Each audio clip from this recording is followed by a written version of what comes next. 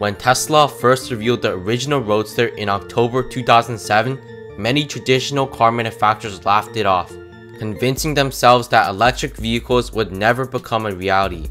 However, as Tesla continued to release more and more affordable EVs, the legacy automakers began to recognize electric vehicles as a feasible method of transportation. Ladies and gentlemen, Mr. Elon Musk!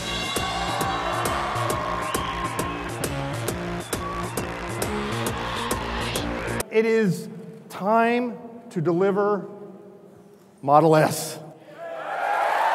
Yes!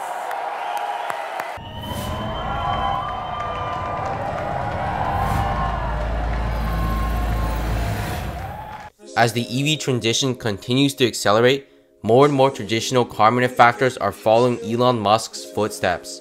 And while competition in the EV space still remains as a joke, it's important to understand that competition is healthy for Tesla. Competition keeps Elon Musk and Tesla's team working at a fast pace. Tesla is famous for the large supercharging network that spans all across the US. Many legacy automakers are beginning to launch their own version of this network, with some having quite unappealing names. For example, just 3 weeks ago, Ford released the Ford Fast-Door Charge, and that really is Fast-Door Charge's logo with the ancient writing of the capital F and a two-prong household plug attached to the F. Nonetheless, the automaker is extremely proud of Fast-Door Charge and even trademarked the idea. In late 2019, Lincoln, which is owned by Ford, released a prototype of his charger, which looks incredibly similar to Tesla's charging network.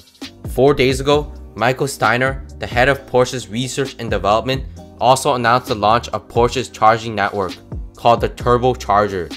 General Motors also announced that they were building a charging network across the US in urban areas. Other automakers creating a charging network include Nissan, BMW, Mercedes-Benz, Audi, and Nikola Motors. In the age of the current pandemic, it's clearly an advantage for automakers to have an online ordering process.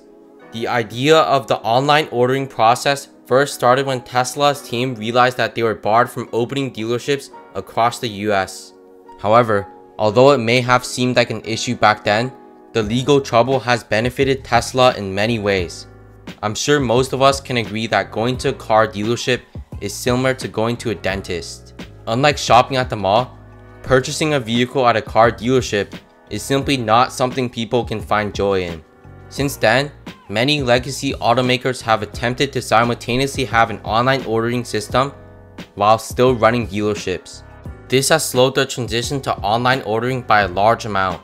After all, who would want to buy a vehicle at the MSRP price while others are purchasing it for a much cheaper price. Some automakers that have launched an online delivery system include General Motors, Fiat Chrysler, Ford, and Toyota. Nonetheless, I'm sure most of you didn't know that these legacy car manufacturers even had online delivery systems. Most vehicles made by traditional car manufacturers have knobs that control the different settings in the vehicle, some manufacturers have digitized half of the car's settings using a small screen while leaving the other half to buttons and knobs. However, we're beginning to see legacy automakers digitalize the entire system, similar to how Teslas have been for many years. For example, the Ford Mustang Mach-E, an electric SUV that will supposedly be released in early 2021, will have an infotainment system with the screen knob at the bottom of the screen. Volvo, which is owned by Ford, will release the Polestar 2 with an extremely similar infotainment screen to Tesla's.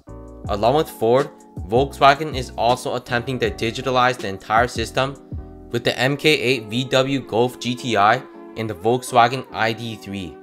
However, Volkswagen's ID3, which is a compact electric vehicle, has had its release delayed due to in-car software issues, which just manifests how the car manufacturer wasn't able to catch on that the infotainment building process requires plenty of skilled software engineers.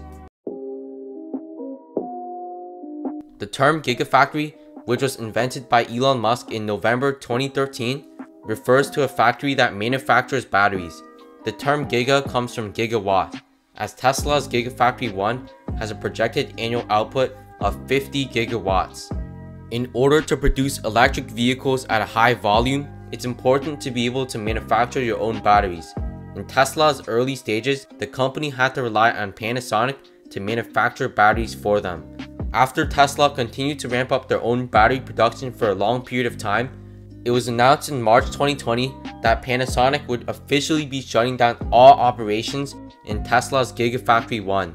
Many legacy automakers are starting to ramp up their own version of the Gigafactory. For example, Volkswagen recently converted its Germany factory in Zwickau to a plant that will solely focus on producing the ID3.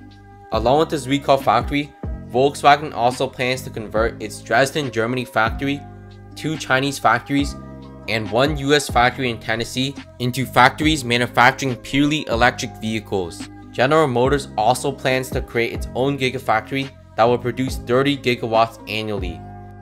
If you enjoyed this video, please hit the like button and subscribe so that I know you guys want to see more videos like this.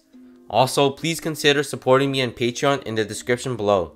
I appreciate your support.